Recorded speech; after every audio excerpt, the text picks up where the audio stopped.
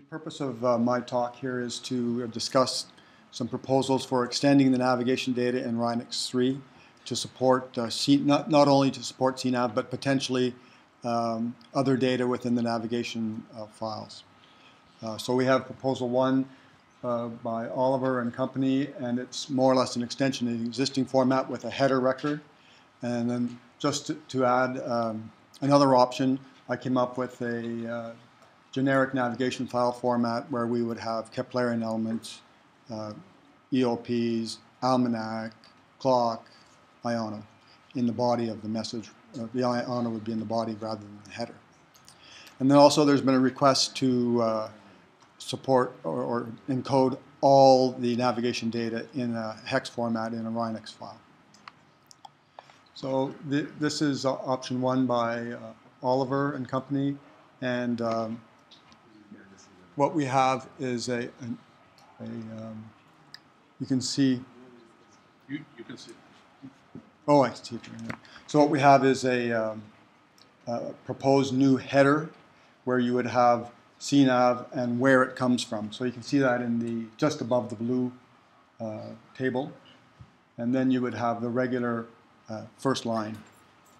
And then the types that you could specify would be CNAV, LNAV, INAV, legacy nav, which would be the old format. So it's going to be backward compatible.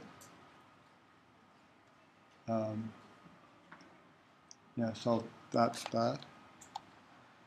And what, what Oliver did was uh, find the messages that are common between the legacy nav and uh, um, CNAV and, and slot them in. And then those that weren't used, he, reused the slots.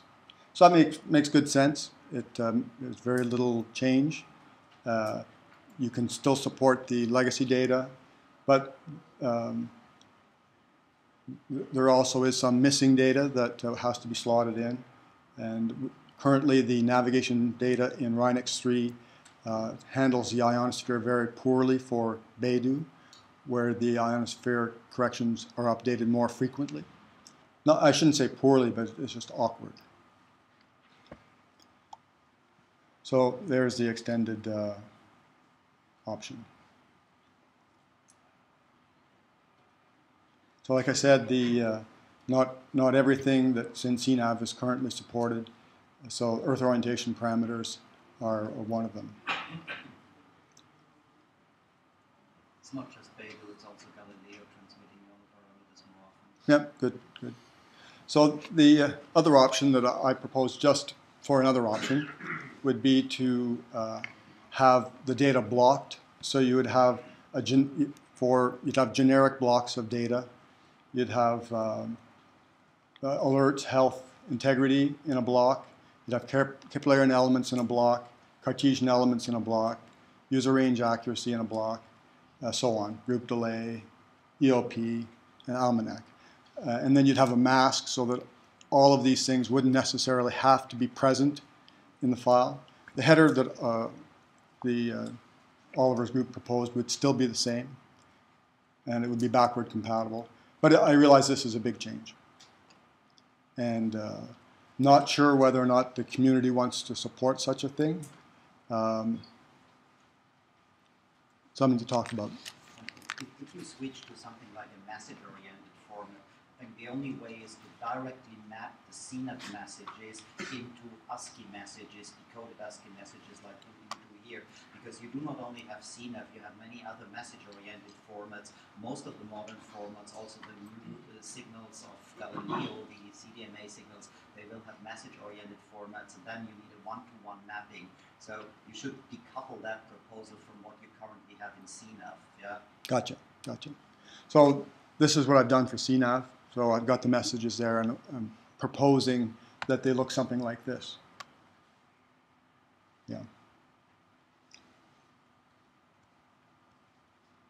Uh, yeah, concerning option three, uh, having a hex format in RINEX, I have to say I'm not 100% in favor of that, but that's just one person's opinion.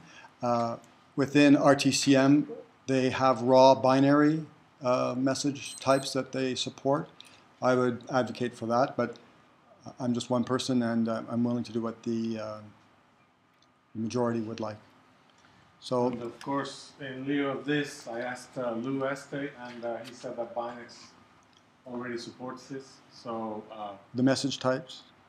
yeah, he said he can they Yeah. can extract, in particular from Vijavat, he said he had worked on the TPS, uh, sorry JPS implementation. Yeah. One thing I didn't mention is is that uh, CNAV is not supported in RTCM at the moment. So that's something that we have to advocate and push for. So we would have the goal would be to have a binary equivalent. So you'd have ASCII, RINEX, and binary RTCM.